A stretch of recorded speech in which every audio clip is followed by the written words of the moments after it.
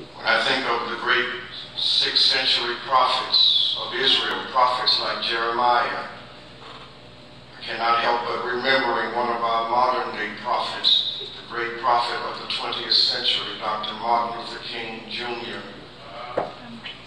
How disappointed he would be at the state of the nation today. A nation that claims to be Christian and yet elects a president diametrically opposed to Jesus' concern for the least, the lame, the lost, and the left out.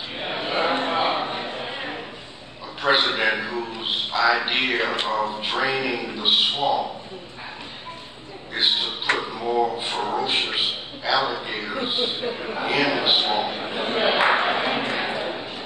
chooses for his cabinet rich, white, conservative males, military hawks, who want America to rule the world by military might rather than by moral persuasion.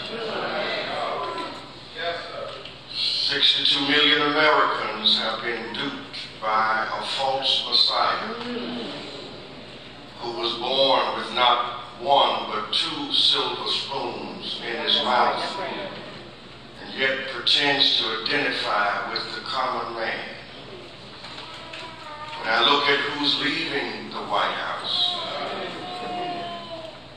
and who's going into the White House, leaving is a man of dignity and grace, the personification of class and poise under pressure man intelligent and compassionate. And when I see the one getting ready to take the oath of office, America has traded a glass of expensive champagne for a bottle of cheap wine.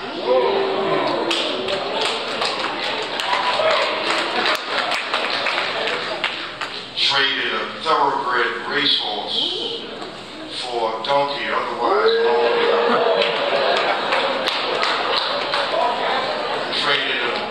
747 for a single engine plane. What would Dr. King say about the America he sought to change half a century ago? In fact,